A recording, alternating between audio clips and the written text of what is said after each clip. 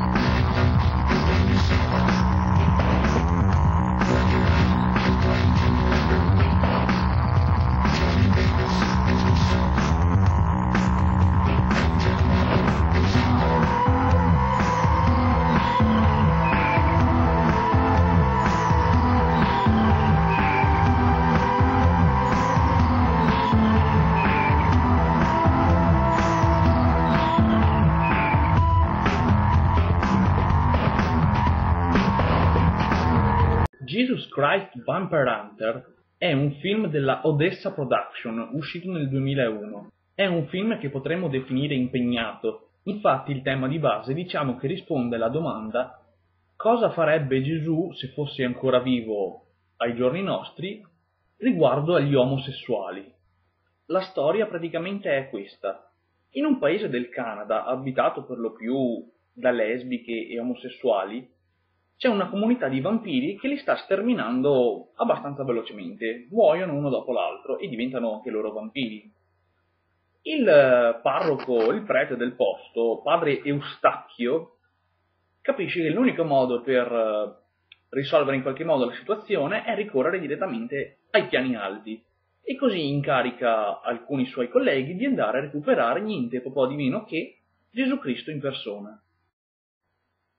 Ovviamente il Salvatore si schiera dalla parte dei deboli e degli umili, iniziando a combattere questi vampiri aiutato da una serie di improbabili aiutanti.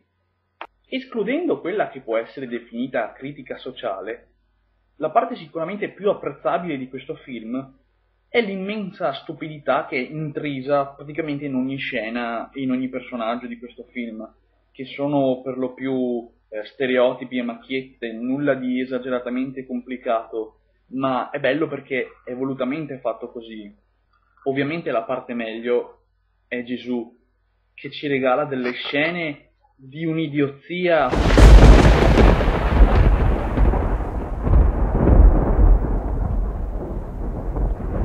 di una semplicioneria che veramente ti strappa le risate e lo fa con combattimenti che ricordano da vicino il Batman di, Adam West degli anni 60, oppure con un'ingenuità tipica dei bambini, o ancora mettendosi a dialogare con una statuetta della Madonna, una tazza di gelato, oppure rubando la stampella a uno zoppo per usarla per poterci ballare. Sì, perché in questo film Gesù balla e canta. Revelation! Questo era Gesù secondo chi ha scritto e diretto questo film. Qui Gesù ha i capelli corti, gli orecchini, non ha la barba, canta, balla e soprattutto fa botte con i vampiri utilizzando una qualche strana arte, arte marziale dei falegnami, penso. Già che ci siamo, diamo una rapida occhiata anche ai suoi fedeli aiutanti. Il primo, come vi ho parlato prima, è padre Eustachio. Devo dire che trovo molto divertente l'idea di questo prete con il mezzo afro. Non si vedrà molto nel film, lui alla fine è più il supporto logistico di Gesù, infatti Gesù vive nella canonica di padre Eustachio. Poi abbiamo Mary Magnum, ossia per noi abituati alla televisione italiana l'unica vera figa del film. Ah, a proposito, il film è completamente in lingua inglese, almeno quello che ho avuto la fortuna di vedere io. Ci sono due scene in cui viene spiegata la trama. Una c'è Mary in costume da bagno. Non ci ho capito un cazzo. Il terzo personaggio è un personaggio ricorrente nei film della Odessa Production ed è Santos, un lottatore di wrestling latinoamericano, messicano suppongo, che, beh, come una volta divennero i Beatles, diciamo che è più famoso di Gesù. Infatti è l'unico personaggio del film ad avere un proprio tema musicale. Santos arriva come rinforzo per Gesù mandato e arriva con un piccolo aereo insieme alla sua aiutante Gloria Oddbottom. Un rapido accenno anche ai cattivi. Sono tre.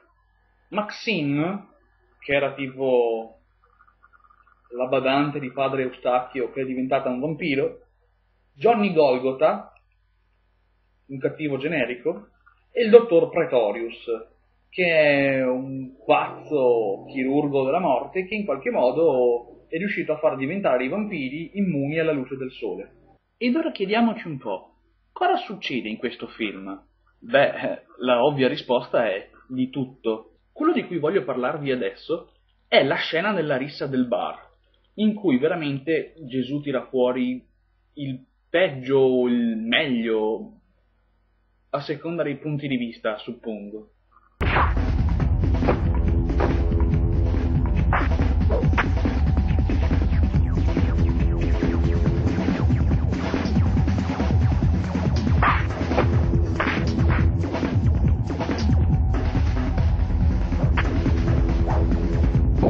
Combo! Durante il film Gesù deve affrontare molti avversari e come vi ho accennato prima li affronta combattendo contro di loro con questa strana specie di arte marziale che io penso di poter definire pugni tirati a cazzo.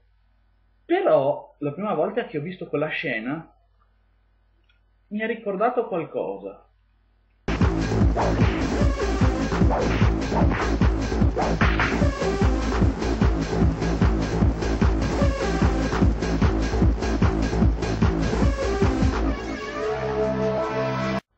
Visto?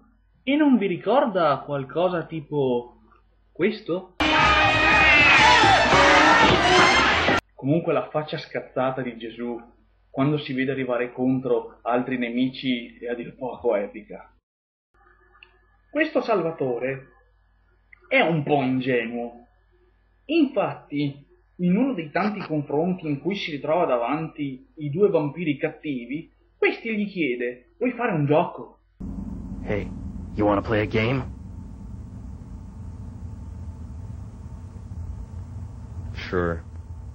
Secondo voi cosa è successo? Close your eyes.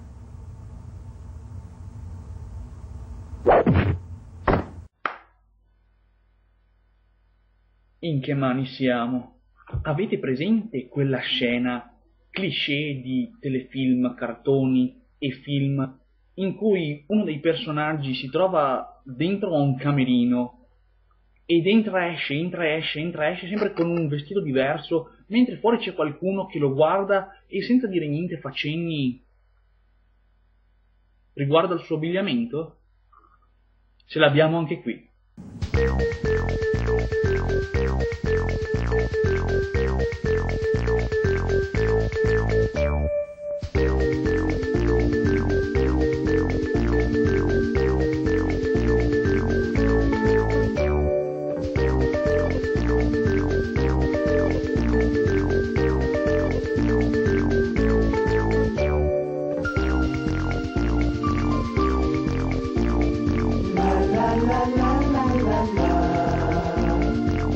Da notare il fatto che una volta Gesù venga fuori vestito da pastore e un'altra con la scritta Fuck me. Ora, io non voglio rivelarvi tutte le scene e le particolarità divertenti di questo film, però qualcosa va detto. Una delle scene più divertenti, secondo me, è quella del confronto finale col dottor Pretorius.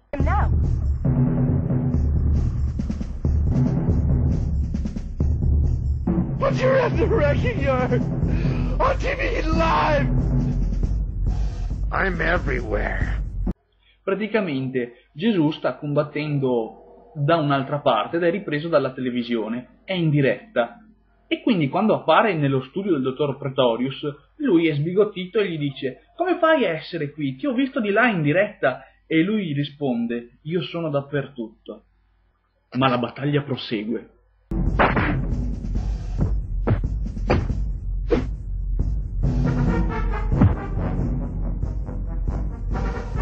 Seventh day, he rested. Ma quanto è tamaro questo Cristo. Ora, il finale non ve lo svelo, ma se conoscete abbastanza bene come me l'inglese, vi troverete di quei dialoghi che vi faranno morire dalle risate. Ma non voglio dirvi nulla, e anzi, sapete che vi dico? Il video è finito, andate in pace. Naturalmente, prima di salutarci, un'ultima particolare chicca.